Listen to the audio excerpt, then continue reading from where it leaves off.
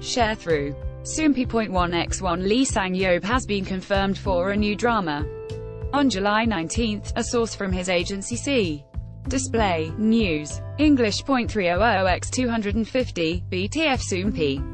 Mobile, English.300x250, ATF. Top star Yoo Baek will tell the story of a popular celebrity who gets banished to an island after causing trouble.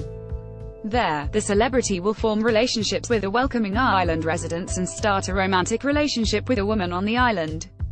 Lee Sang-yeob will play the role of Choi Ma-dol, who is described as the Jack Sparrow of ships.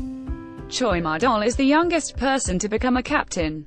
He's an optimistic, friendly, and fun character, but is also strong-headed and charismatic.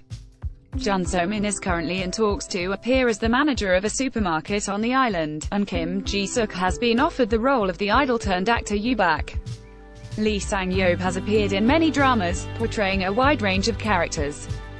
He's the epitome of a nice guy in KBS2 TV's The Innocent Man, and appeared as a lovable producing director in JTBC's My Wife is Having an Affair This Week. He left a lasting impression on viewers as a serial killer in TVN's Signal, and portrayed the cold-hearted lawyer Lee Ubeom in SBS's While You Were Sleeping. Top Star Yoo Baek is scheduled to air sometime in November. Are you excited to see Lee Sang-yeob in a new drama?